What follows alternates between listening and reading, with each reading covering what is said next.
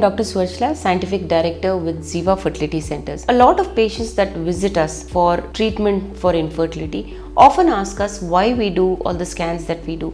I just wanted to create an awareness video to help you understand what are the various scans and why we do so many scans when we are trying to make you pregnant. Well, since we're talking about infertility, we'll stick to your period cycle and let's assess what scans are done at what period. If you are in the middle of your period, whether you're on day 14, 10, 12, 13, it doesn't matter.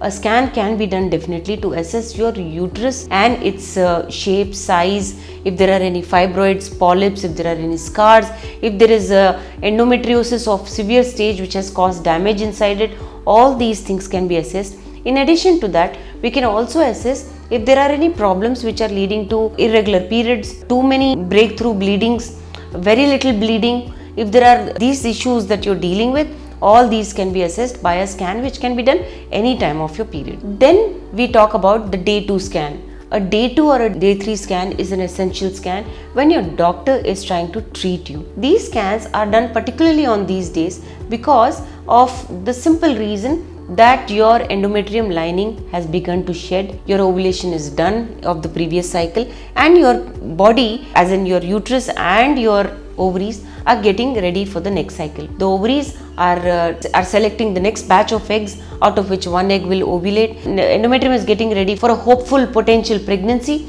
If not, it's getting ready for a breakthrough bleeding. How is it happening? Basically, the brain is producing FSH and LH, two hormones which are very important for eggs to grow. In addition to this, estrogen and progesterone also play a very important role. As FSH increases, eggs begin to grow and under the influence of the growing egg and increasing FSH, estrogen rises. Rising estrogen causes only the dominant egg to grow and the rest will then collapse. Rising estrogen also leads to an LH surge as in luteinizing hormone increases suddenly and causes ovulation to happen. The egg is released, it comes and waits in the tube. If there are sperms present, there is fertilization and therefore an embryo is formed and that embryo will then implant onto the uterus. While all this is happening, after the egg is ovulated, progesterone hormone is released which is very important for the growth of endometrium and for support of the uh, potential embryo that may implant. So this is what is happening inside your body during ovulation and all these have to happen at the right time. Now scans are done on day 2 or day 3 and these scans are then matched with your FSH, LH, E2, P4 all these values at that time these are called baseline scans and hormones and then your doctor will assess what treatment works best for you depending of course upon your age and your husband's semen parameters. So these are very critical decisions that your doctor takes when he or she is trying to treat you for infertility. Uh, so that's a baseline day 2 scan. Then there are scans which are performed during treatment whether you are going for ovulation induction or an IUI or an IVF.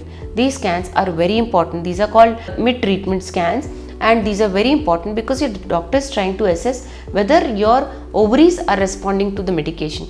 Let's try to talk about ovulation induction. Very little medication is given for one or two eggs to grow and then uh, you are asked to have intercourse at the right time when the egg is released. So to understand whether the size has reached and the egg is ovulated, it's very critical for your doctor to do scans. Then coming to IUI, IUI also needs medication and sometimes injections. So to have the control, see whether the egg is released have a control of when to do the IUI, when to put sperms into your uterus, it's very essential that you go for ultrasounds to see if your egg is growing properly.